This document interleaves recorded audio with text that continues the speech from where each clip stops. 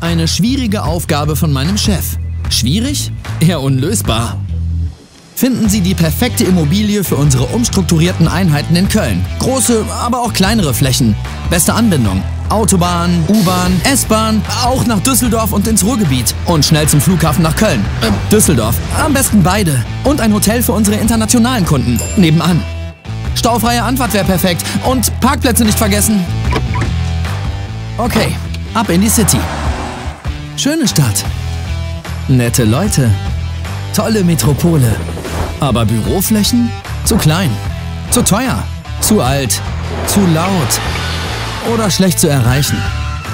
Schon wieder Stau. Und kein Parkplatz. Ich brauche mal einen Kaffee. Hier muss es doch etwas geben. Aber wo?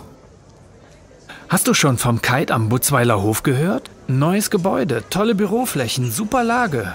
Kite. Sieht gut aus. Direkt neben der Motor World. Ein Hotel und Gastro sind schon da. Events und Freizeitangebot auch. Das wär's doch.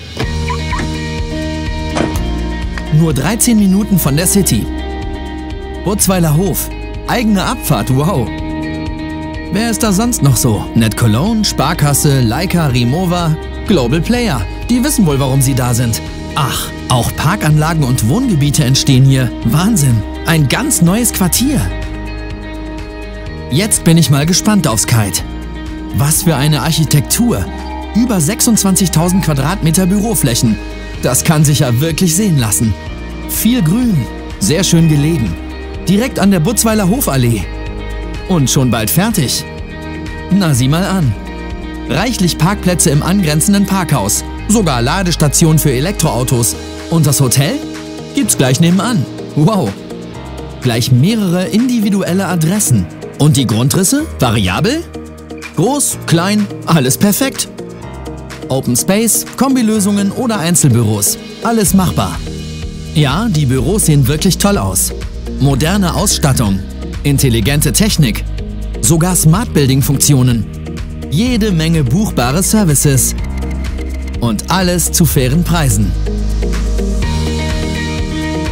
So, Zeit für meinen wichtigsten Anruf. Was der Chef sagt, das passt.